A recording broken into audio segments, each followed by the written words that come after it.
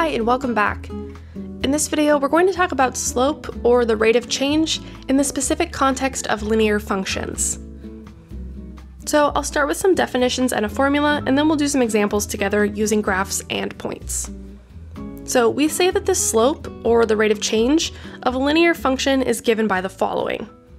So we use m as the letter to represent slope, and we say m is equal to the change in output divided by the change in input. So this is taking a ratio of how the outputs change with respect to the inputs. This is just the way we're defining to look at how the function changes over time. So how do the outputs change as the inputs change? Then we can summarize this with mathematical notation using delta y over delta x. So here that triangle is a delta, and this represents change in. So in math, we often use the delta symbol to represent some sort of change. So here we have change in output divided by change in input, which we could also write as delta y over delta x, given that y is the output. And if you've seen slope or rate of change before, you may have heard rise over run. So this is just meant to give you a reminder of rise being the vertical change and run being the horizontal change. So it's the vertical change divided by the horizontal change, I personally like to think of the change in output over the change in input, but if you've heard rise over run, that's where that comes from. Then we can expand this even further by writing this as y2 minus y1 divided by x2 minus x1. So this is just meant to indicate that in order to find the change in y and find the change in x, we're going to choose two points on our line and use those as our x and y values to find the slope. So we use them in this formula by finding the total change in y, that's the difference in the y values, and then the change in x, that's the difference in the x values. So here we would say that x1, y1 and x2, y2 are any two points on the line. So you can choose any two points you want to do this formula with because the rate of change will always be the same between any two points. That's what distinguishes a linear function. Before we move on, I just want to mention that here I'm using y as the output. So you might also see this as f of x instead of y. So I'm assuming here that y is some output to some function, but you might also see this formula written as delta f of x over delta x, which would then mean we're using function notation for everything. So instead of x1, y1, we'd have x1, f of x1, so that f of x1 is the output that goes with x1, and then we'd have x2, f of x2, since f of x2 is the output that goes with the input. Then we would rewrite our slope formula as f of x2 minus f of x1 over x2 minus x1. So this is just a different way to write the same thing. I think it's really nice to understand the function notation, but it can get really messy as we keep doing it. So I'm just going to stick to y and x because I think it really simplifies things. Okay, so let's get into our first example. So in this example, let's identify the slope from the graph that I'm going to show you. So here is our linear function. Let's say it's y equals f of x. So our function is f, and we'll call y the outputs. So as we're looking at this, I'm noticing a few things. First, I see that this function is increasing, so we're always going uphill as we move from left to right. This means that our slope is going to be positive. So increasing as a line means we have a positive rate of change. So as we're trying to calculate that slope, we remember that slope is m, which is equal to the change in y over the change in x. So to calculate this from the graph, I'm going to find some points where I can clearly see where they are on the graph. We're just going to trust the graph too, that they're not like off by just the slightest bit, and trust that they really do cross at those marks. So I'm seeing points here at 0, negative 1, and 2, 2, but then I also see another one at 4, 5, or negative 2, negative 4, etc. So we could use any two points, and if you don't believe me, you can go ahead and try this instead with two different points, but I'm going to use 0, negative 1, and 2, 2. So I just want to look at the change between these two points, and I want to do the change in y over the change in x.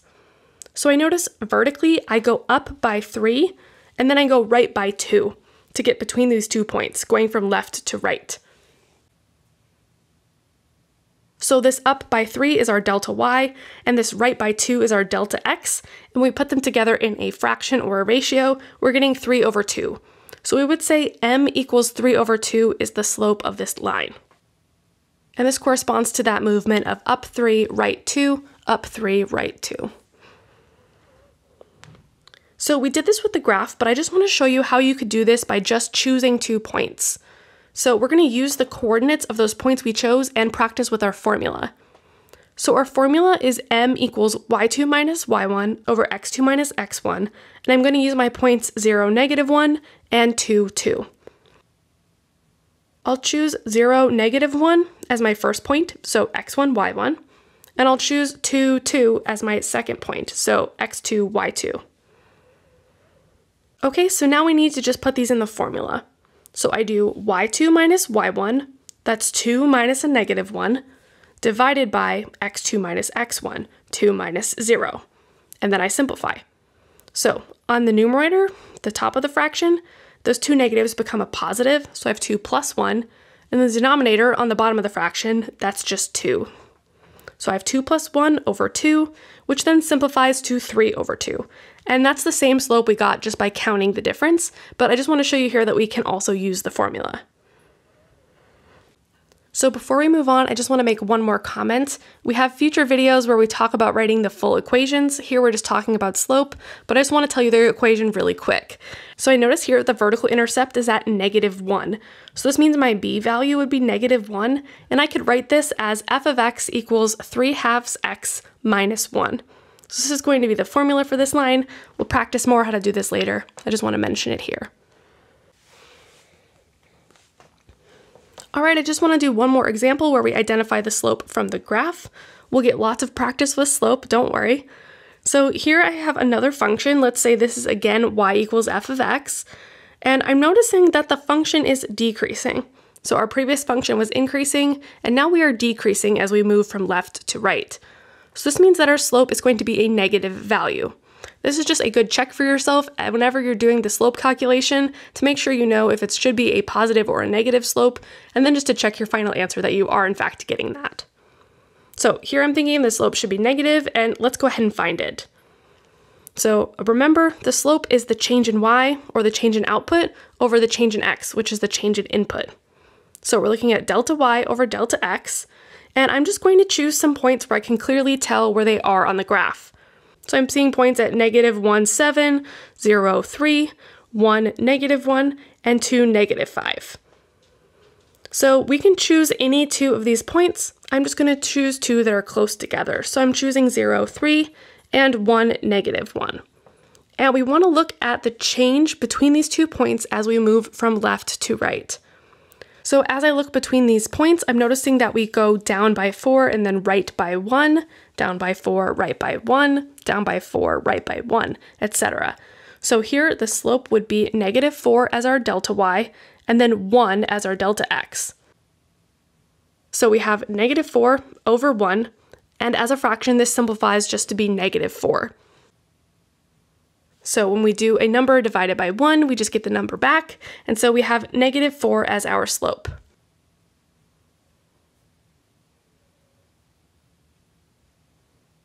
Okay, so I just want to finish by showing us again how we could use the formula for this.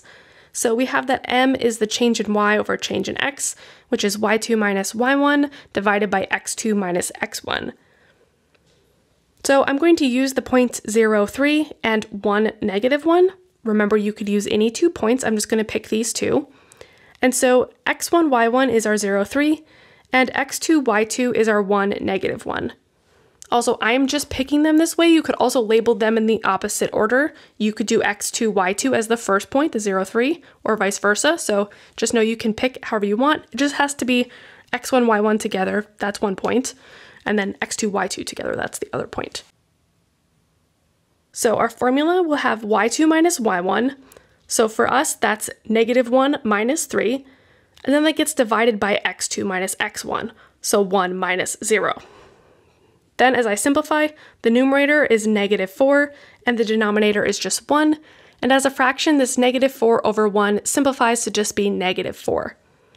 And there we go, we got the same slope. So as we wrap up this example, I just want to tell you the formula for this line to start making some connections here. So I noticed that 3 is the vertical intercept. That's the place on the vertical axis that the line intersects. And so the formula would then be negative 4x, where negative 4 is our slope, and then plus 3 for that vertical intercept. So we'll do more of that later, but I just couldn't leave without telling you the formula for the line.